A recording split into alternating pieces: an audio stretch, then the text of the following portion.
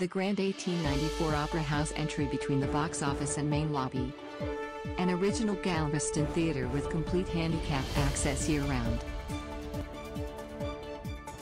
Surviving the Great Storm of 1900 it later became the premier performing arts theater in the Gulf Coast region and the official opera house of the state of Texas. This historic site is listed in the National Register of Historic Places.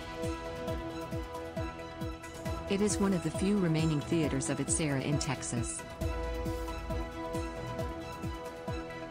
Available for event rentals such as meetings, receptions, weddings, recitals, private parties.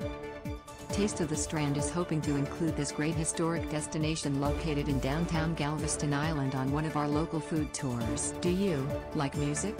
Or like adventure and entertainment? Do you want the finest entertainment in the region?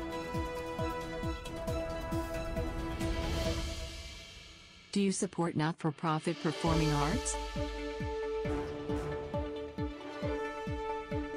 Would you like to watch a live performing arts production in a genuine old-time facility?